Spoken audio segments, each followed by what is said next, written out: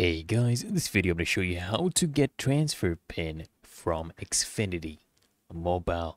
And it's really easy and simple to do this if you're, you know, basically switching carriers or transferring your number. So first things first, we're going to do is, you know, go ahead and open the Xfinity mobile app or go to the Xfinity mobile website and log in using your credentials, okay? Then what you're going to do is you're going to navigate to the account settings section and then you're going to go ahead and look for the option labeled transfer information or number transfer pin option okay? Then you want to click on it to basically generate your pin.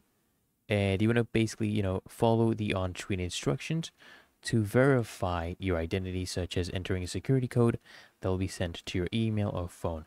And once verified your transfer pin will be displayed and you want to make sure to copy or write it down for future use. And if you can't find the transfer pin in your account, you need to contact Xfinity mobile customer support to request assistance.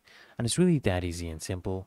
So I hope this guide provided value to you. If it did, guys, consider smashing that like button as well as subscribing to frequently asked questions and I'll see you in the next one.